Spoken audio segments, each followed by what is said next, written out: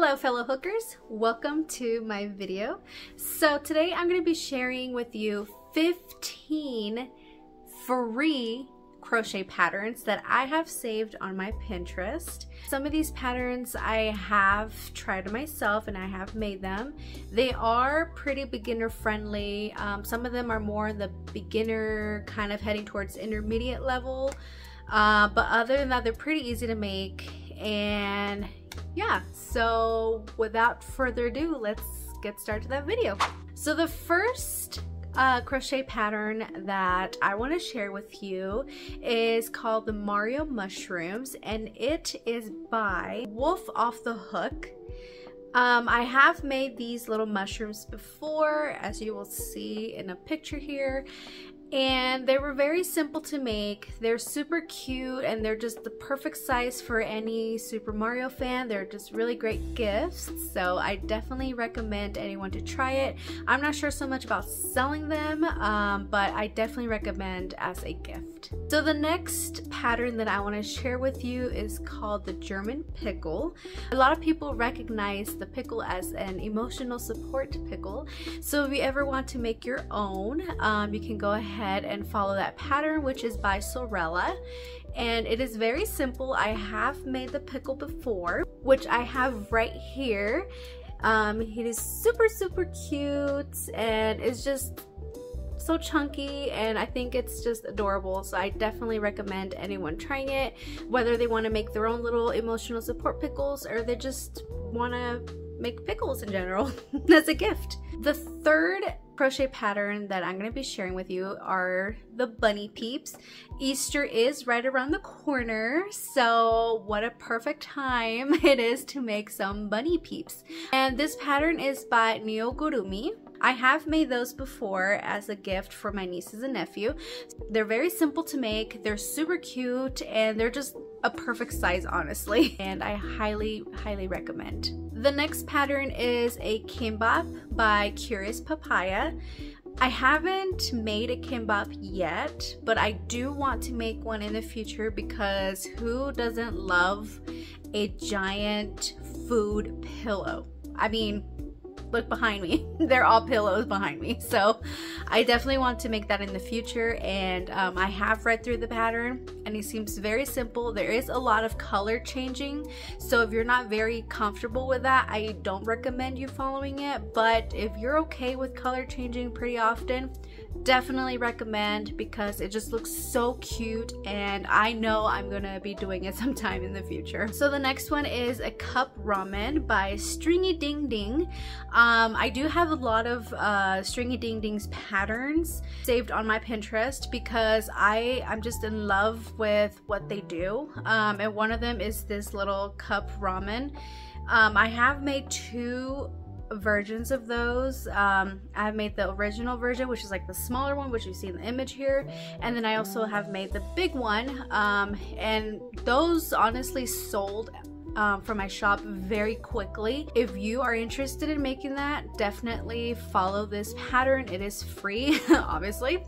And yeah, it is super cute. I love it. The next pattern is a strawberry plush by Hay Hay Crochet.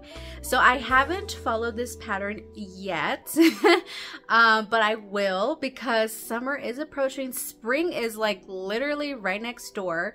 Um, so I think having a little strawberry plush would be super cute and super fun to have. Also, it's like a jumbo size and who doesn't love jumbo food? Like I said, I have a lot behind me. So I definitely want to increase my collection.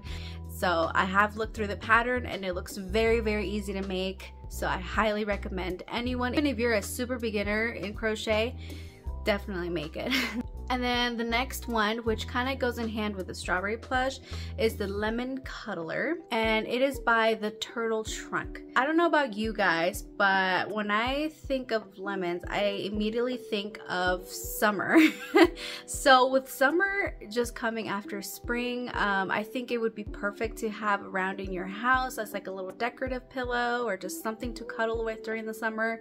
Um, I also think it would go pretty perfect with the strawberry plush um because strawberry lemonade i mean i love strawberry lemonade so i think it would be really really fun to have both of them um, in the spring and summer as some decorative pillows. So i have looked through that pattern as well and i do want to make it for sure.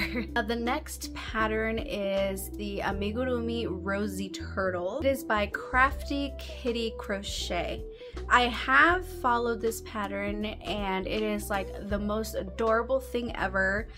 I was obsessed with it when I first made it. The only thing I would say, it is beginner friendly, but I would say it's more for people that have a little more experience in crochet, mainly because of the rows. Um, if you're pretty good in following patterns and just reading them, definitely give it a try but if you're very like very beginner into crochet and you're not very comfortable with um, different techniques in crochet then don't try it I mean you could always give it a try just with the rose area it would take a little bit more work kind of but um, I still would recommend just anyone to give it a try. so this next one is one of my favorites and it is the Banana Split Ice Cream Amigurumi by Stringy Ding Ding. Like I said, I love their patterns and I have made it here because I have it right here next to me. So the original it's really big.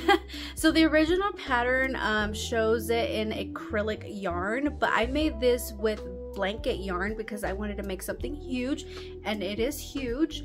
It is pretty easy to make. Um, it's beginner friendly but I would say this is more for people that want a longer project and that's something that's very quick. It does take a little bit longer because it does require more pieces, you know, like the three ice cream, the three little uh, whipped cream and the cherries, plus the syrup here, and then the bananas, which you're gonna be making two bananas and then the little baskets. So it does it is a little more time consuming, but I would say it's totally worth it for for this thing. The original pattern does use acrylic yarn, but I used blanket yarn, so it's up to you on what size you want to make it. But it is super fun and it is so cute and I refuse to ever sell it because it's like one of my favorite things that I've made so far. The next pattern is a Boba Cat amigurumi Little Love Every Day. So I haven't tried this pattern, but I do have it saved because I love me some boba and then a little cat boba, like that's so cute. Um, it is pretty easy to follow, so it is very beginner friendly and um, I think it would be really fun to make and just have it around your house or even to sell it if you want. Uh, but it's really, really cute and honestly, I can't wait to make one. This next one also goes with Easter and it is the Easter Peep amigurumi by Stringy Ding Ding, of course. so I haven't tried that pattern just yet, but I do do want to try it. Um, I already did the uh, little bunny peep, so I might as well just do the little chicken peep, right? Um, so I think it would be super cute and it looks so easy. I read through the pattern and it, it's it's pretty easy. Um, so there's not much construction. It's just all one go. And um, honestly, I would probably make it out of blanket yarn because I feel like it would be the most cuddly thing ever. so the next one is a drummy bucket by Phil Ferguson. Uh, when you do click on it, it is going to have you download the pattern, but it is free, so don't worry, you don't have to purchase it. Um, it's funny because when I found it, KFC was the one that posted it on Pinterest, but it does take you directly to the pattern uh, from the creator. And I have followed that pattern and it is like the most cutest thing ever. So um, I did add it to this little ghost, but um, this is the pattern that I followed by Phil Ferguson and it's obviously the little drummy bucket. It does teach you how to do the color changes and then the little drumsticks and it's like it's the cutest thing ever. I'm like obsessed with it and it was really, really fun. So this next pattern, um, I think it would be really fun because it was really trendy at some point. I don't remember it was last year or the year before, but it's the reversible octopus and it is by Crafting Happiness. So if you're not familiar, basically there was these little octopus plushies that you could uh, turn inside out and each side had a little face on it. So like a little mood. So one of them, one of them will be angry and the other one will be happy. I guess it's like if you're not good at communicating your feelings, it was good to kind of demonstrate it to your partner or to just anyone in general. And I actually got really excited that I found one on Pinterest for free because I think it would be really fun to make.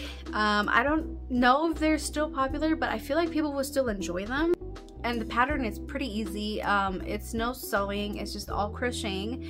So that's a bonus. So the next one is a s'mores amigurumi by crafty kitty crochet. I read through the pattern i haven't followed it yet but i did read it and it is honestly so easy it's so beginner friendly and it's just so cute. Um, the only thing is it doesn't show um, if you should stick like the cookies onto the marshmallow. Uh, you can totally do it by hot gluing it all or sewing it all. It, it's really up to you. Um, but it's so easy and I I think it's the most cutest thing ever. I've seen some people do um, some little s'mores plushies and I think it would be like the most adorable thing on like a couch or in a bed. And last but not least, it is the Chocolate Easter Bunny. And this pattern is by, I'm sorry, I'm probably going to butcher the name, but I think it's Haigi, Haiji uh, Crochet Co. I'm so sorry, I totally butchered that name. I couldn't figure out how to, um, how to pronounce it. But um, like with Easter around the corner, it's honestly the perfect time to make those. Um, people love the little chocolate bunnies. It's a classic that everyone remembers along with the peeps. So I think it would be really fun to just make a bunch of those and like gift them to people in like gift baskets or even just like making a bunch of them like for like a little garland or something. I think it would be super cute or just making a giant one in like a blanket yarn and just cuddling with it. So I think that would be really, really cute. Um, I definitely do want to make some um, because I would love to decorate my house with like crocheted Easter stuff. so I feel like that would be super fun to make. Alright, so those were the 15 free crochet patterns that I have saved on my Pinterest. Um, like I said, some of them I have tried and others I haven't yet, but I will in the future. So if you're ever interested in following any of those patterns, I do have them linked down in my description. Um, like I said, they're free, so you don't have to worry about purchasing any of them. And with that, I really hope you guys enjoyed this video. If you did, make sure to subscribe and if you want me to do a part two of this video, uh, please feel free to let me know down in the comments because I would love to share more free patterns that I have saved on my Pinterest. Um, Instagram. I think I have some saved on my Facebook. I would love to share them with you guys. So just let me know if you want more of these videos and yeah so i hope you guys enjoyed this video. And with that i will see you lovely hookers in my next video. Bye